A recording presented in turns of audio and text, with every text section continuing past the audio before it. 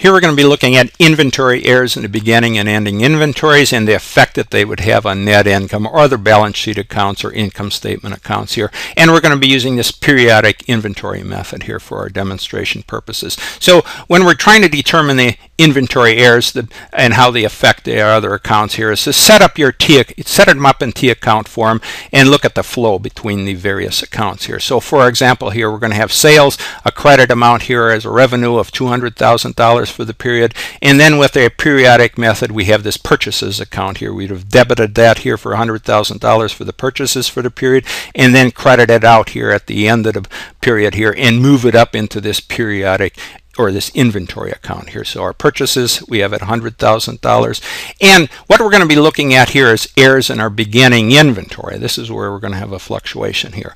But again, our purchases here at $100,000 and then our ending inventory at $40,000. Both of those amounts here are correct. But this is where we're going to have the variation here in a beginning inventory. And the best way to look at uh, how the any overage in our inventory or undervalued inventory, how they affect any of the accounts here is just to look at them in terms of the correct amount here. In this case, the beginning inventory to correct amount here should be $30,000. Now we're going to look at um, where we got an overvalued inventory here at 30, 35,000 and the undervalued here at $25,000. So to determine the um, inventory charge against those sales we have here of $200,000. All we would do is take the beginning inventory amount here, add it to the purchases here, and then subtract out our ending inventory. And this is using that periodic method. That gives us our inventory charge here. So uh, with the over a valued inventory of 35,000, we get an inventory charge here, charge it off at 95,000. Then the correct amount of our inventory would have been $90,000 here. And then where we undervalued inventory, the uh, inventory charge here is $85,000. So those just move right over into the cost of goods sold here for the for the for the for those sales or those revenues of, for the period of $200,000. So our with our overvalued inventory, again, our cost of goods sold here, 95,000. Correct amount here, 90,000. Undervalued inventory, cost of goods sold at $85,000. So now we have to look at our net income. How does it affect our net income? Well, we have um, cost of goods sold, or we have the revenue for the period here at $200,000, and then we would be subtracting out our, just moving our cost of goods sold over here uh, um, based on our over overvalued inventory, the correct amount here, and then the undervalued inventory. So looking at our overvalued inventory, our cost of goods sold was $95,000 and subtracting that here from our revenue for the period of 200,000 gives us the a net income here of $105,000. So you can see here we overvalued where we had overvalued inventory here, we're going to have undervalued net income. Now again, uh, our correct amount here is $90,000. So just moving that down here uh, or subtracting our, our correct amount here from our gross our sales here of $200,000 gives us the correct amount here of $110,000 and then where we have undervalued inventory here subtracting that here from the $200,000 worth of sales the $85,000 undervalued gives us $115,000 worth of net income where it's overvalued. So you can see right here where we've got overvalued inventory, we're going to have an undervalued net income. And where we got um, undervalued inventory here, we're going to have overvalued net income. So you can see how they work in the opposite direction. And then again, just remember that these are net income here would go into our retained earnings and affect it in the same value, fashion here. So you got overvalued inventory, you're going to have undervalued retained earnings. And then one other, uh, looking here at uh, just taking, uh, for example, here our working capital. So save our current assets, that equals our current assets minus our current liabilities here. So if inventories are understated as a current asset, then the working capital would be understated and, and etc. here. So anything, uh, remember that the uh, inventory here affects our working capital and you'd have to do your arithmetic here to see whether the working capital is either understated or overstated or you have uh, less or more working capital here. And then one other thing here. So looking at this purchases account here. So if uh, the purchases here were understated or overstated you would have this would have the same effect here as our beginning inventory error here. So uh, with this uh, periodic method here the purchases account here would also affect our um, charge against our net income if there's any errors here in our purchases account. So next we'll be looking at errors in the ending inventory and how they would affect our net income.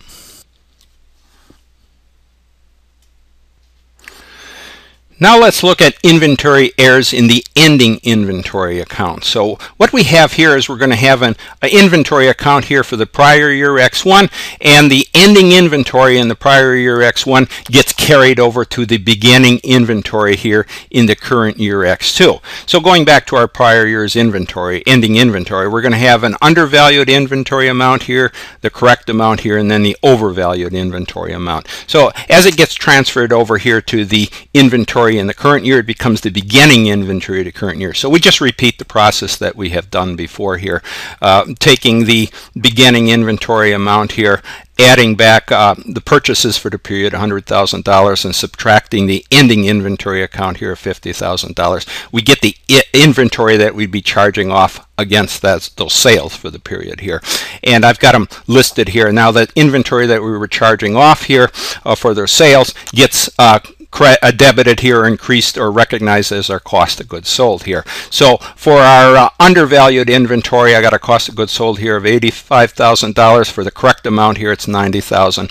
And then for the overvalued inventory, the cost of goods sold here is $95,000. Now to calculate our net income based on uh, our uh, sales revenue here of $200,000 and our cost of goods sold expense here that I've just calculated. So you, we, what we're going to do here is just take our uh, sales amount here of $200,000 and let's just say we subtract out our correct inventory or cost of goods sold here of $90,000 that gives us a correct inventory or a correct net income here of $110,000 for the period. So now let's go and take a look at our uh, undervalued inventory, the cost of goods sold for that. So that was $85,000. Subtract that here from the $200,000 uh, sales amount, we get our net income of $115,000. Compare that to the correct amount here of $110,000, you can see that our net income here is overvalued based on an undervalued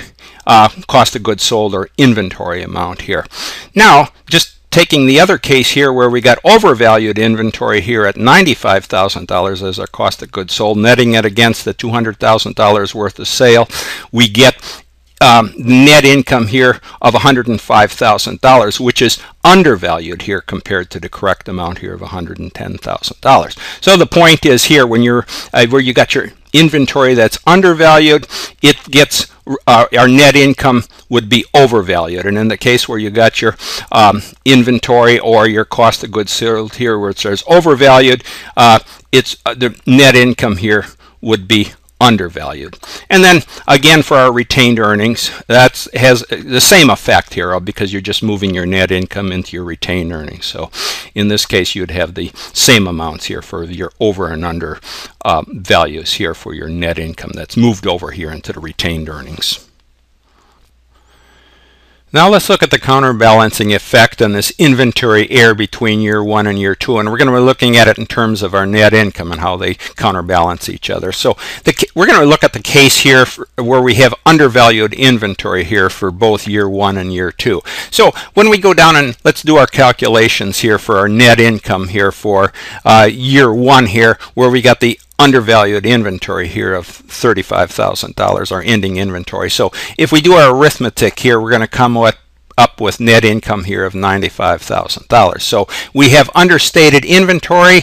We're going to have understated net income here. So let's look at the, again for year one here, if we uh, calculate the correct amount here. Our ending inventory was $40,000 and uh, with our arithmetic, we're going to come up with in net income here of $100,000. So comparing the correct amount here of $100,000 to our understated amount here of $95,000 with that understated inventory, we're going to have a uh, difference here or, or, understated amount here of $5,000 in net income on our income statement.